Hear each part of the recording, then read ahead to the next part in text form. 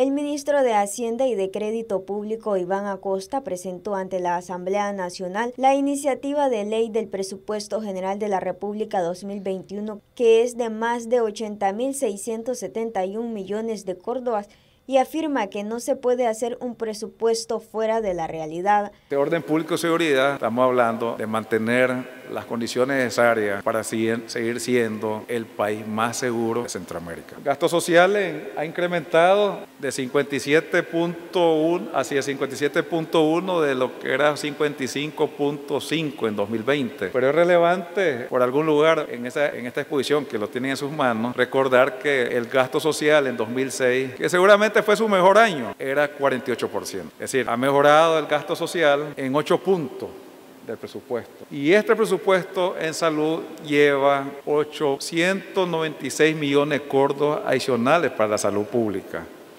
En educación, una infraestructura escolar de 886.7 millones para seguir mejorando los espacios escolares. El 7 de noviembre habrá elecciones y está financiada. La cantidad de 1.108 millones para la gran fiesta cívica. Por su parte, la diputada Azucena Castillo afirma que es un presupuesto limitado y sin crecimiento.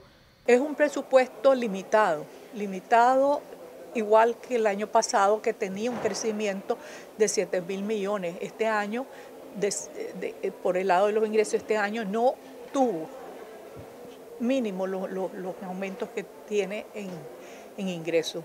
O sea que es un, un presupuesto que como el del año pasado representa y hace tres años ya viene representando el 18% del PIB consecutivamente. Eso muestra que todas las políticas económicas que se hicieron, como ha sido la, reforma este, fiscal que se dio de la, de la ley de concertación, no tuvo el éxito que se tuvo, que ha tenido, porque la economía está parada.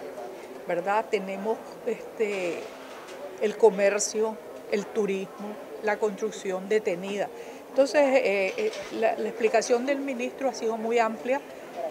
Están haciendo, yo creo que el ministro de Hacienda, ¿verdad? Lamentablemente está sancionado, hace sus mejores esfuerzos, un excelente ministro en lo que cabe aquí, pero el presupuesto es un presupuesto limitado que no... Eh, no da para más. Noticias 12, Darlene Telles.